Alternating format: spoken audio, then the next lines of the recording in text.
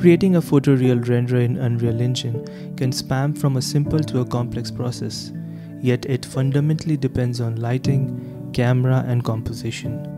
In this video, we will simplify this process and focus on these essentials while making a still life render. Let's get started. In the Unreal Engine project browser, go to Film and Video and select a blank project. Make sure you have ray tracing turned on and name your project and hit create. In Unreal Engine, I'm going to create some folders to keep things organized. So one for our materials, one for our textures, one for our levels, and one for our assets. So we'll go into get content, click on Quixel Bridge and search for interior window in Quixel Bridge. And we will import this modular interior asset into our project so that's done and then we'll go into our content drawer and add that asset into our scene just like that. Next we will bring in our cup asset. We'll go into our asset folder say import to and go to our cup asset and bring in the 3d model. Uh, everything looks good over here so we're just going to say import all. And now we have that asset in our scene. Um, next we will import the textures related to that asset. So right click say import to again and go into textures folder and bring in all these textures. Next we will create our material. We'll go into our material folder right click say material. We'll create a material called cup and double click on it and we will bring in the textures we just imported. So we'll just select all of them and drag it into our material graph we'll try to arrange them a little bit so that it's nicely visible. We'll connect the base color to base color. We're gonna connect the ambient occlusion to ambient occlusion slot the normals to the normal and the metallic to metallic and the roughness to roughness. And with that we just have our very simple material ready. We'll click save next we will go back to our asset folder and drop in our cup asset. And uh, to see some material on it we're just gonna go back to our material folder and drag in the material we just created into the material slot. Uh, now we have some textures on it. Uh, one problem we need to fix is the the pivot is offset right now so we need to center it. So if you hold alt and middle mouse button you can just drag the pivot to the center of the asset and then right click and say pivot set as pivot offset. So Unreal Engine is going to remember that pivot offset. Next we're going to create a platform for our cup. So we're going to go into place actor section draw in a cube asset and scale it just like that uh, and place it against the window. Uh, next we're gonna import uh, material for this uh, asset. So let's say import content Quixel bridge again and they want to type in varnish wood. Once you do that you have this varnish wood floor material. We're just going to say add and that would be imported into our unreal scene. Next we can just go ahead and drag that into the material slot just like that.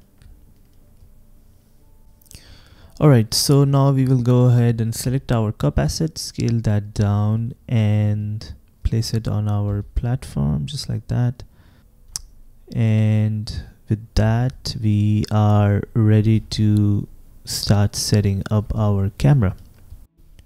A lot of these kind of photos uses a nice portrait lens with a wide aperture to create these creamy depth of field shots. So in Unreal Engine we are going to try and mimic some of these lens features. We're going to drop in a cine camera actor into our scene and go to the viewport options layout and divide the layout into two parts and choose one of them as a cine camera actor. Next we will select the camera and change the focal length to 50 and reverse this film back settings to create our portrait orientation of the camera. Following the rule of thirds, in which we divide an image into 9 equal parts using two horizontal and two vertical lines, and then Place these subjects on intersection of these points, leaving a third of the image empty. To have this guide in Unreal Engine, we're going to select our Cine camera and then click on this box over here to enable the grids. And now we can use the grid to position our camera in such a way that the cup is at these intersection lines, leaving a third of the image empty. To light up the scene, we're gonna first do some cleanup work and remove anything which we don't need in our scene. So we're gonna select the skylight, the sphere, the light source, atmospheric fog, and we're gonna hit delete and delete all of them. Now with a blank scene, I'm gonna type in HDRI and drop in an HDRI backdrop in our scene. Another thing we need to make sure that we are using the path tracer. So if you go into view mode, you can change that to path tracing. Next we will create a backplate for our shot. So we're gonna type in plane and bring in a plane asset and rotate that plane 90 degree and scale it up.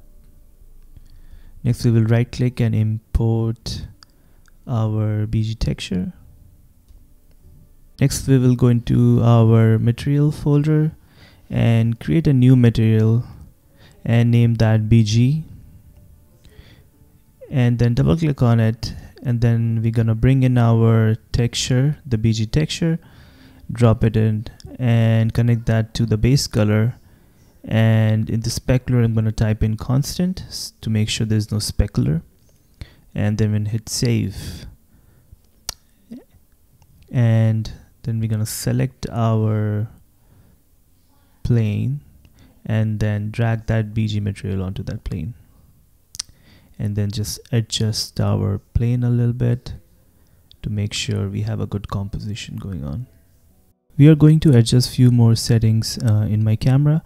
As you can see, a lot of the shot is still sharp. So what we need to do is we need to really blur that background. So we're going to select the camera and then lower our f-stop, which is this current aperture. So we're going to go to the lowest value, which is 1.2. And you can also adjust how low you can go so I'm gonna stick around with 1.2 right now. And as soon as you do that you can see the background has gone a little bit more blurry. Following the principles of contrast in photography where you place the subject in front of a very bright or dark background to create more visually appealing image let's try to do something similar in our shot using camera exposure.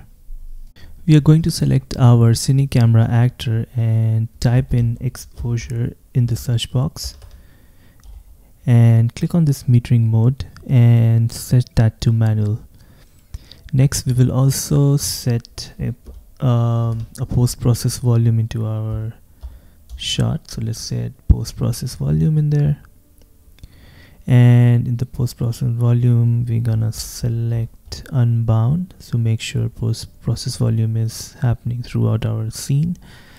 And then we're gonna type exposure over here as well. And check metering mode and set that to manual. Now if we select camera search camera you can check in shutter speed and ISO and now you can control the exposure of our scene using these two values. Now after setting the exposure as you can see our background has gone a lot darker as well. So let's go into the BG texture we are using and this let's just brighten our background using these this value over here so let's just make it 2 on b3 that works. Let's hit save. And moving further what we can do is select our HDRI backdrop go into our skylight setting and change the skylight color to somewhere over more blue. A very common technique is using light blockers in photography to shape the light and give more definition to it.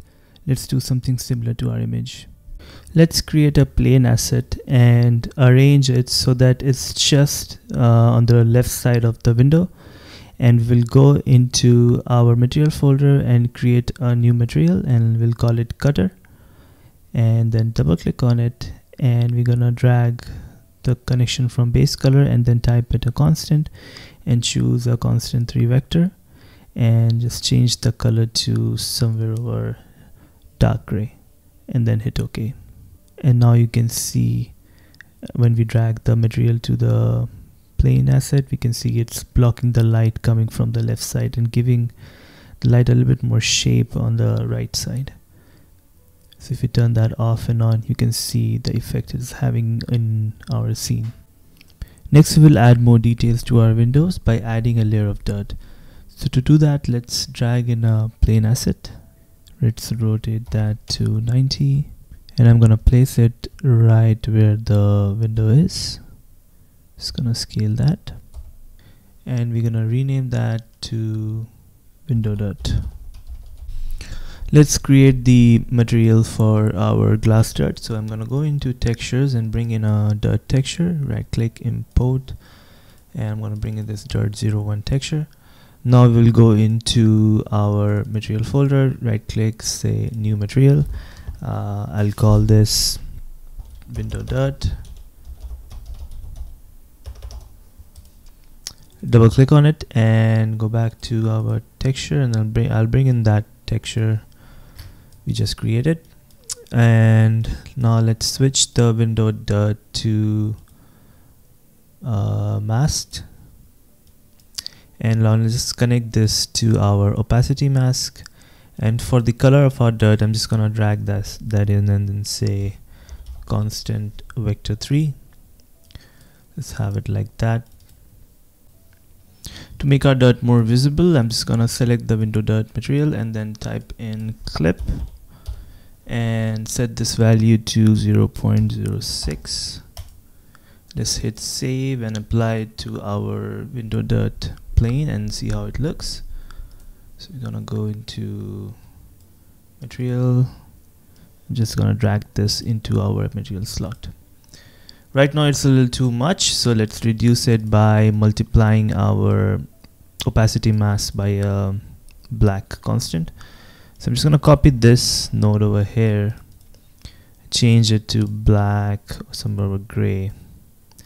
And then I'm gonna take a multiply node and multiply this texture with this black constant we just created and then plug in the result into opacity mask.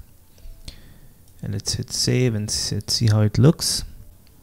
Maybe it's a little too less let's uh, tweak our constant. Let's bring it to somewhere over here say okay.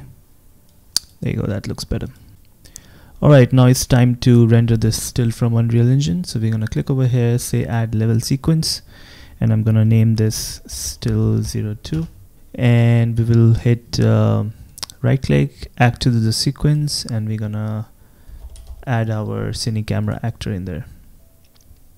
Next uh, to just render one frame we're gonna be dragging this marker over here and just add it over here. So that's just constrained to one frame.